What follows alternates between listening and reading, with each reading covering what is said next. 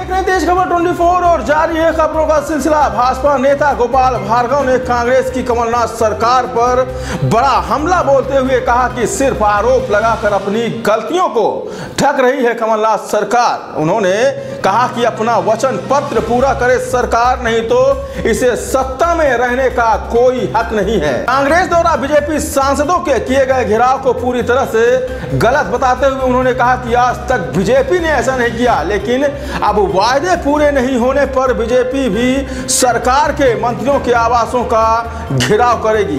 पूरा होने जा रहा है। जब हमारे विधानसभा चुनाव हो रहे थे उस समय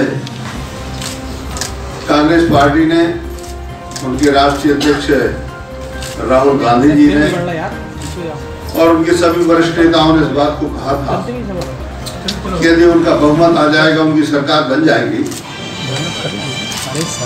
तो वो दस दिन के अंदर मध्य प्रदेश के सभी किसानों का दो लाख रुपए तक का ऋण माफ़ कर दे। साल भर होने को आया है। मध्य प्रदेश के 25 प्रतिशत किसानों का भी अभी तक कोई कर्ज माफ़ नहीं हुआ है। किसानों की, ऋणों की अदायगी नहीं होने के कारण से कर्ज माफ़ी नहीं होने के कारण से, सेवा सहकारी समितियों ने उन्हें ऋण देना भी बंद कर दिया है, नगद तो मिल ही नहीं रहा है, लेकिन उनके लिए खाद और बीज भी नहीं मिल रहा है। खाद प्राप्त करने के लिए लंबी लंबी लाइनें लग रही हैं। जबकि हम लोगों की सरकार देखी तो एडवांस में हम लोग जो फर्टिलाइजर्स उत्पादन करती हैं, उन कंपनियों के लिए हम एडवांस में मार्केट के माध्यम से पैसा बुक कर देते भारत प्रदेश भर में खाद के लिए हाहाकार मचा हुआ है।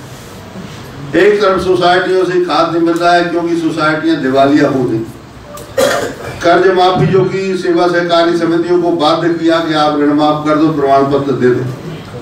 लेकिन एवज में उनकी राशि का सरकार ने वापसी नहीं की, उनकी राशि की और इस कारण से सोसाइटियाँ जो है, सेवा से कार्य समितियाँ, वो दिवालियापन की स्थिति में आ गई।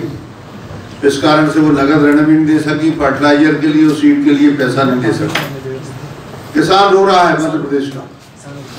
और इस कारण से आज की यह पत्रकार वार्ता विशेष रूप से इसलिए कि आपने देखा, पिछले विधानसभा सत्र में सरकार ने स्वयं स्वीकार किया था, लगभग सात महीने उस समय हुए थे, सरकार को गठित हुए। बहत्तर किसानों ने आत्महत्या की थी, उस समय सरकार के उत्तर में बात आई। इस कार्यकाल के दौरान सरकार के। और आज मुझे जानकारी, लगभग डेढ़ सौ से अधिक किसान बोनी ना होने के कारण क्योंकि उनके पास बीज नहीं, उनके पास खाद नहीं, तकाबी का जो ऋण मिलता है वो ऋण नहीं तो इस कारण से किसान आत्महत्या कर अतिवृष्टि के